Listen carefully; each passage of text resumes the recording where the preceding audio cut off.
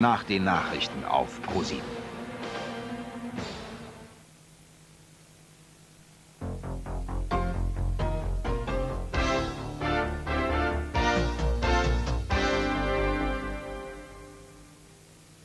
Guten Abend, meine Damen und Herren. Trotz der letzten Verhandlungserfolge in Genf droht sich der Krieg im ehemaligen Jugoslawien auszuweiten.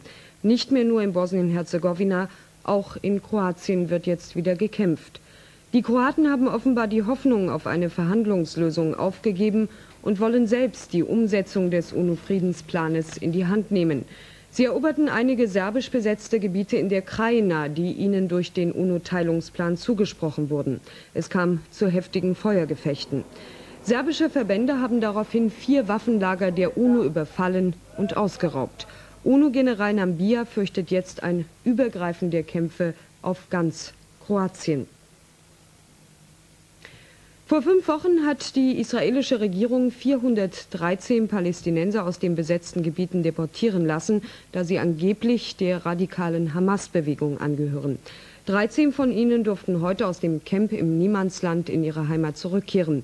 Die Männer wurden irrtümlich deportiert. Dies hatte Israel schon vor Wochen eingestanden. Eine Woche diplomatischer Ränkespiele ist vergangen, bevor vier Rotkreuz-Mitarbeiter per Hubschrauber den Weg ins Niemandsland tatsächlich antreten konnten. Auch wenn vor allem die mitgeführten Medikamente in dem notdürftigen Lager dringend benötigt werden, die meisten Deportierten betrachten die Aktion mit sehr gemischten Gefühlen. Die humanitäre Hilfe, so ihre Befürchtung, wird die Deportation weniger unmenschlich erscheinen lassen. Wir wollen keine Nahrungsmittel, sagt ein Sprecher, sondern zurückkehren, wie es die UNO-Resolution 799 vorschreibt. Als die Hubschrauber am Nachmittag schließlich wieder abheben, haben nicht nur die irrtümlich Ausgewiesenen, sondern auch Kranke das Lager verlassen. Ob diese Geste auch Hoffnung für die Zurückgebliebenen heißt, nur wenig deutet bisher darauf hin. Die Bergungsaktion für den leckgeschlagenen dänischen Supertanker Maersk Navigator läuft auf Hochtouren.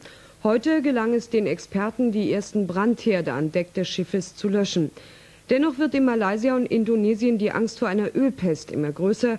Der Ölteppich rund um das brennende Schiff hat bereits eine Länge von fünf Kilometern. Fachleute befürchten, dass die mit zwei Millionen Fass Rohöl beladene Maersk Navigator auseinanderbrechen könnte. Starker Wind und drei Meter hohe Wellen behinderten die Löscharbeiten sowie das geplante Abpumpen des Öls. Unklarheit herrscht noch immer über die Ursache des Zusammenstoßes mit dem japanischen Tankschiff am Donnerstag.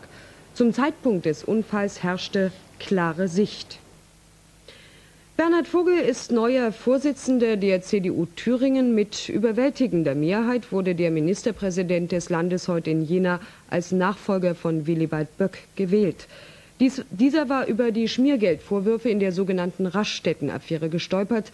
Vogel erklärte, er wolle das Amt nur bis zur Landtagswahl 1994 ausüben. Danach solle ein Thüringer diese Position übernehmen. Ein Sturm mit Windstärke 10 fegte in der vergangenen Nacht über Norddeutschland hinweg. Vor Cuxhaven kenterte ein Lotsenboot, drei Menschen ertranken in dem Fluten.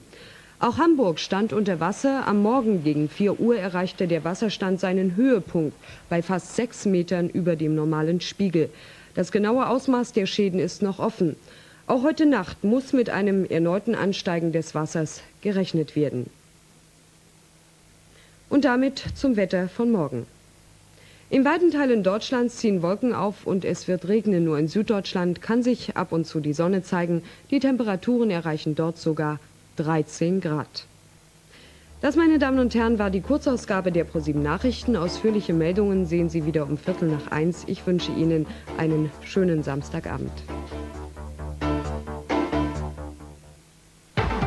Die Reporter. In der neuesten Ausgabe unseres Nachrichtenmagazins erwarten Sie folgende Themen. Fast 100 Tage in türkischen Gefängnissen. Der deutsche Journalist Waldberg. Anklage Kurierdienste für die verbotene Arbeiterpartei PKK. Die Angst geht um bei den Schwulen. Täglich werden einige zusammengeschlagen. Schwulenklatschen heißt der neue Sport jugendlicher Gewalttäter. Die Reporter. Sonntag 19.30 Uhr auf Pro7.